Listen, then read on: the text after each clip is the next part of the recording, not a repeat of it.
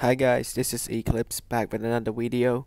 Today we're gonna do something different. You know, unlike other videos where there's music, this time it's me voicing over this experiment on two consistency of paint. One is the runny and the other one is the more on the thicker side paint. So I'm gonna give you a rundown of the color that I'm, I'll be using today but these color I actually mixed with a little bit of pouring medium, water to dilute them, a few drops of silicone, and alcohol for the cell. Now here we go. Uh, you can see. Let's start. Let's start with the white. You can see right here that the color, the paint is actually really really runny. Now this next one is actually phthalo blue you know, I, I love phthalo blue and you can see that the alcohol actually started does it work already. And this next one is actually ultramarine with a tiny bit of black. You know, I want to keep it a little bit dark. You can see like the effect of it in the cup. And this one right here is light ultramarine. Again, the same ultramarine, just a tiny bit lighter. This next one is actually cerulean blue, one of those beautiful, beautiful light blue. And the last one is actually turquoise. Now this turquoise is different from the normal turquoise because it has cerulean adding into it. And you can see right here, I'm reaching back for the cerulean cup because I want a little bit more of the shine. Now before we go even further, let me take this time to answer your question. I know you guys probably wondering why am I voicing over rather than you know just talk at a spot? Well, because the place that I was shooting at was too loud and I can't talk since the audio quality is not going to be that good. Now, back to the painting here. As you can see, I only give them a few seconds to you know drop down and collect on top of the canvas because the paint was actually really watery and runny. It doesn't take need much time. Now, this moment right here, I kind of feel disappointed because like the canvas, somehow the canvas was not level and it's built to one side. But then as you can see, the cells start to pop up. Guys, like you guys need to give alcohol a try you know, I've spent 15 months trying to, you know, get big cell. And finally, I found the answer. It's alcohol. You need to give it a try.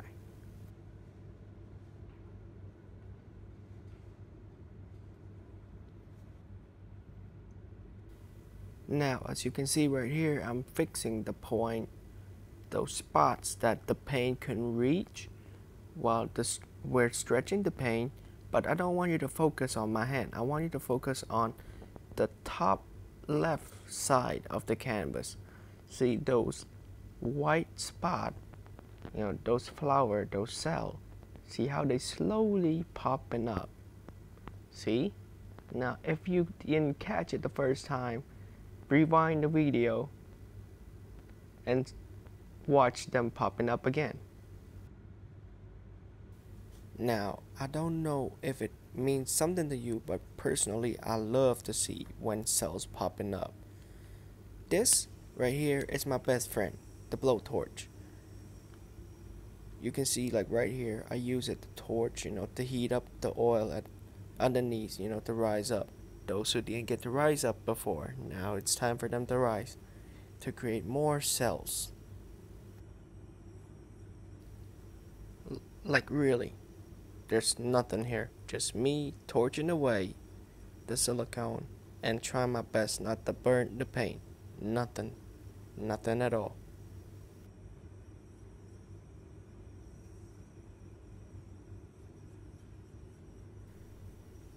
Right here, from this moment onward, I want you to focus on the bottom right side of the canvas.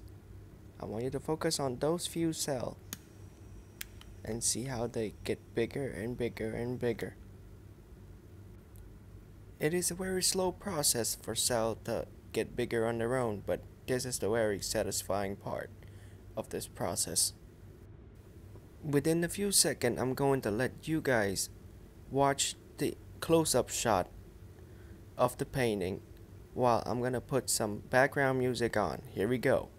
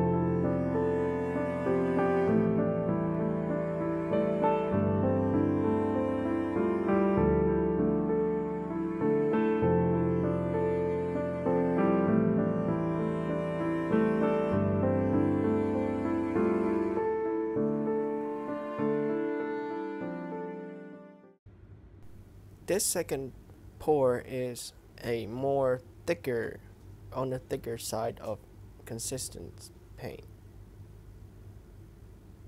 As you can see, uh, I don't know if the angle is good for like it's good for you to see.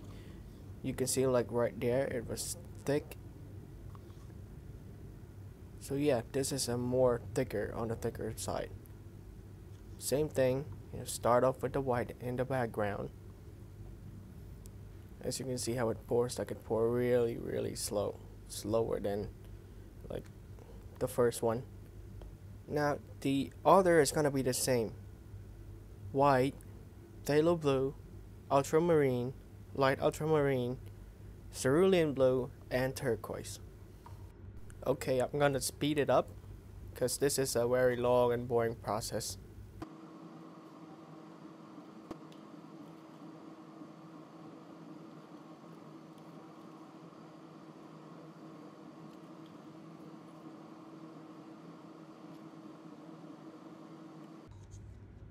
This next process is more of a habit because I love to add a base coat before I flip the cup because by doing that so the paint has a better chance of stretching.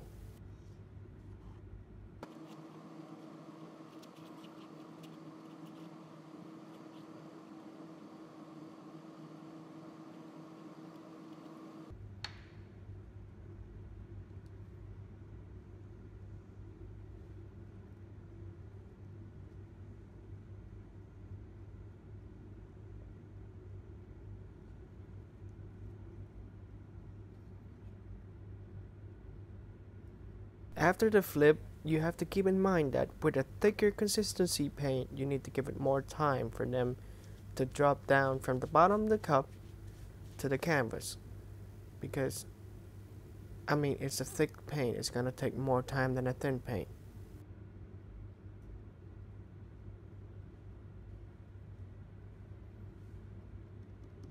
Just gonna give it a few tap here and wait a little bit more for them to drop and we're gonna lift up the cup.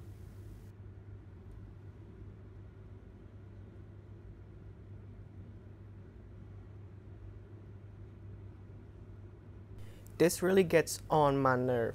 Like again, once again, the canvas is not level and you can see the paint actually pouring down to the bottom side more than to the the other side, which is a bummer a real bummer.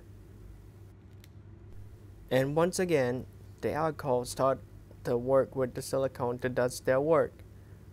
You can see like cell popping up and here I am playing with my best friend again, the blowtorch, just to pop all the air bubble and also bring the cell to the top.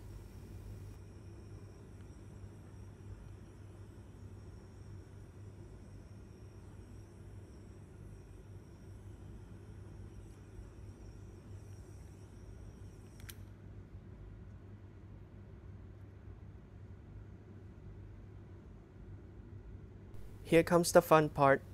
Let's stretch the paint. And yes, I have been asked about how I stretch my paint in a Facebook group on the previous video on how I get big cell. Um, I learned that you have to be patient with stretching the paint. You know, with each time that you stretch it to one direction, make sure that you return all the paint back to the center of the canvas before moving in another direction.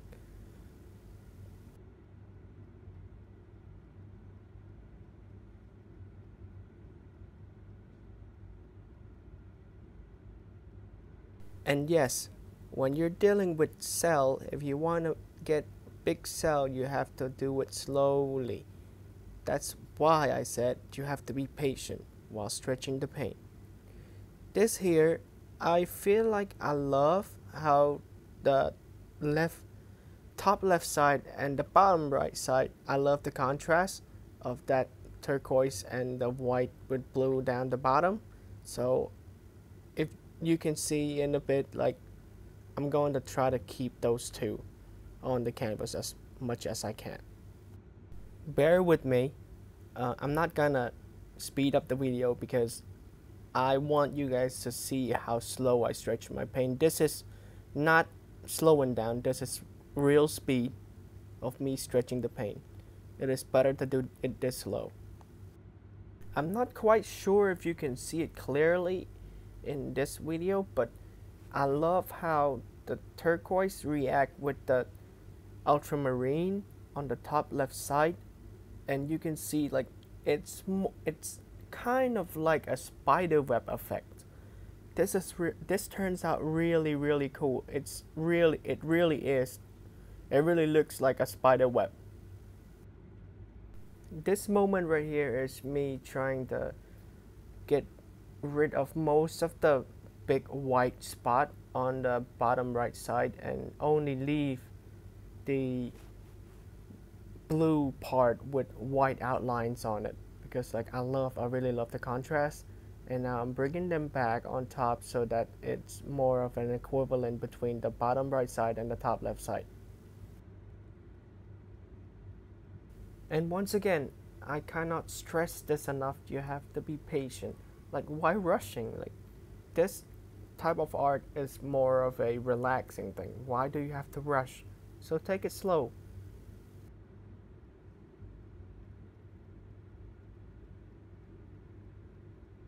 you can see as I bring the canvas back down you can see how the teal the spider web on the top left side keeps on stretching and stretching and it looks better and better time through time. I got asked a lot by people about when do you know that a piece is done? Um you know like it's just up to your feeling.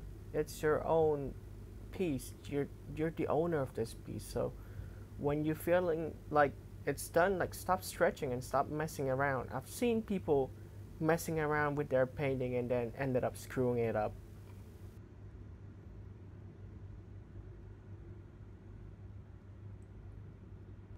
And you know it's not gonna be my video if I don't include footage of me cleaning the side of the canvas.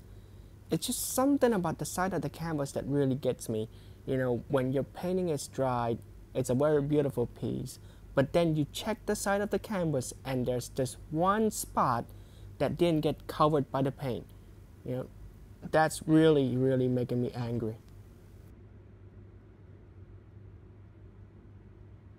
After having cleaned up the edges and corners, um, I'm just gonna let it sit and rest. And in a few seconds, I'm gonna show you a close-up footage of the canvas.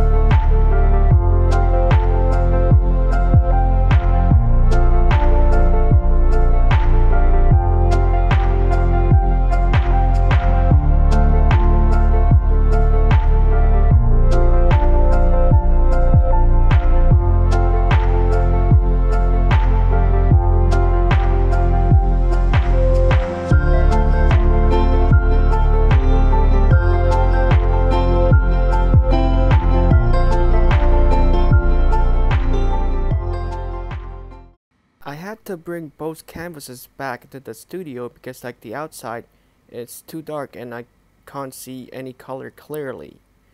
So I'm just gonna show you the first canvas that was done with a runny paint.